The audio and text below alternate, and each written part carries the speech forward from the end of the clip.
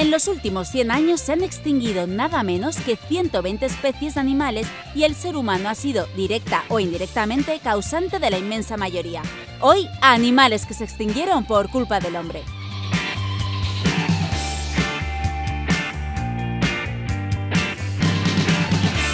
Vamos a empezar por uno de los animales más maltratados por el ser humano, el tigre de Tasmania.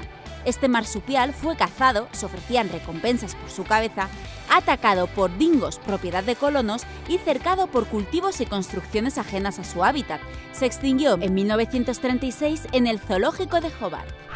Moas. Este ave, emparentado con el kiwi y que habitaba en Nueva Zelanda, llegó a pesar más de 250 kilos y a medir 3 metros. La llegada del hombre y la transformación de su hábitat en campos de cultivo produjo su extinción en el siglo XIX. Alca gigante. Era muy parecido a un pingüino y vivió principalmente en las islas cercanas a Islandia. Su fácil caza hizo que barcos de pesca arribasen en sus costas para aprovisionarse de su carne y de sus huevos y proseguir su viaje.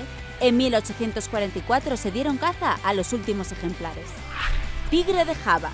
Los grandes felinos son animales propensos a la extinción, no solo porque se les dé caza, sino porque el hombre arrasa los bosques en los que vive para hacer campos de cultivo y compite con ellos por la caza de herbívoros. El tigre de Java se extinguió en 1944. Bucardo. El último ejemplar de la cabra montesa del Pirineo aragonés falleció en el 2000, esta vez por causas naturales. Lo curioso de este caso es que también ha sido el primer animal extinto que se ha intentado con cierto éxito devolver a la vida. En 2003 nació en Zaragoza el primer ejemplar clonado de bucardo, aunque desgraciadamente murió a los pocos minutos. Pájaro carpintero imperial. La extinción de este animal ha sido, como otras muchas veces, causa indirecta de la acción del hombre. Este animal vivió en los bosques del sur de Estados Unidos y México hasta 1956, pero la tala indiscriminada de su hábitat terminó por extinguir su especie. Cuaga. ¿A qué parece una cebra?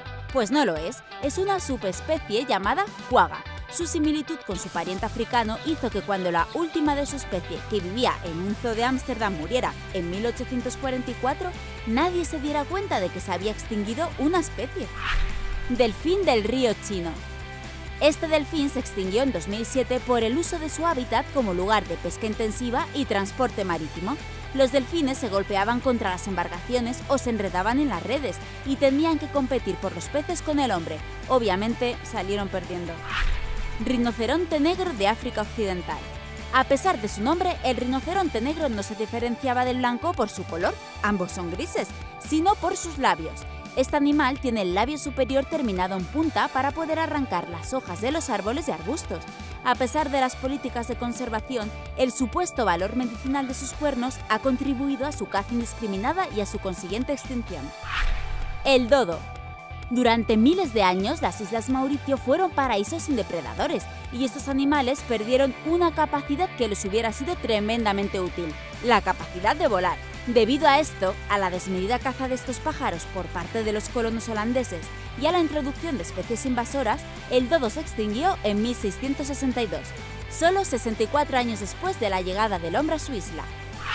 ¿A que te hubiera gustado poder ver con vida a todos estos animales? Pues cuidemos el medio ambiente.